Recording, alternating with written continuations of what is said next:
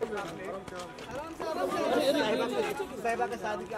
Daily soap ससुराल सिमरका से घर घर में लोकप्रिय नाम बना चुकी टीवी एक्ट्रेस दीपिका कक्कड़ का एक वीडियो सोशल मीडिया पर काफ़ी वायरल हो रहा है।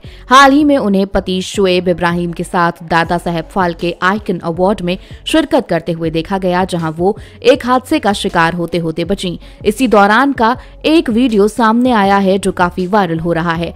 कार्यक्रम के लिए दीपिका और शुएब ने कलर कोऑर्डिनेटेड आउटफिट पहना है और पैप के लिए स्माइल करते हुए पोज दिया। यही एक छोटी सी घटना हुई जब एक्ट्रेस का पैर मुड़ा और वो गिरते गिरते बची। सोशल मीडिया पर ये वीडियो वायरल हो रहा है। समारोह से सामने आए एक वीडियो में दीपिका को अचानक गिरते हुए देखा जा सकता है। हालाँकि उन्होंने खुद को तुरंत संभाल लिया। उसी दौरान वहाँ मौजूद एक शख्स भी तुरंत हड़बड़ा जाता है और उन्हें बचाने के लिए आगे बढ़ता है। इस पर एक्ट्रेस ने उसे जो रिएक्शन दिया वो नेटिजन्स को पसंद नहीं आया और लोगों ने उन्हें खरी खोटी सुनानी शुरू कर दी है।